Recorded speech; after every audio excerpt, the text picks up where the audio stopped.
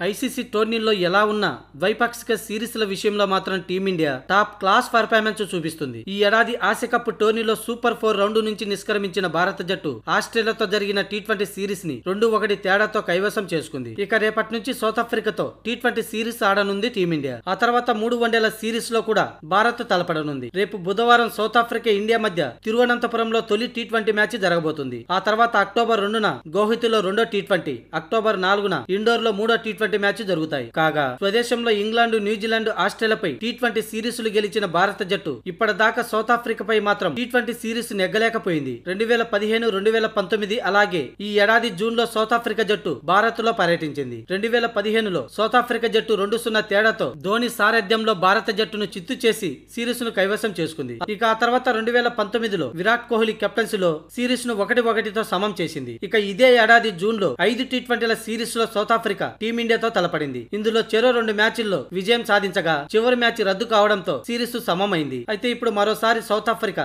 టీమిండియాతో మూడు టీ ట్వంటీల సిరీస్ తలపడేందుకు భారత్లో అడుగుపెట్టింది. స్వదేశంలో సౌత్ ఆఫ్రికాపై టీ ట్వంటీ సిరీస్ గెలిచిన మొట్టమొదటి కెప్టెన్గా నిలిచేందుకు రోహిత్ శర్మకు అరుదైన అవకాశం దొరికింది. ఈ ఏడాది టీ ట్వంటీ వరల్డ్ కప్ టోర్నీకి ముందు సఫారీలపై సిరీస్ గెలిస్తే ఆ విజయం ఇచ్చే ఊపుతో రెట్టింపు ఉత్సాహంతో ఆస్ట్రేలియా విమానం ఎక్కుతుంది రోహిత్ సేన.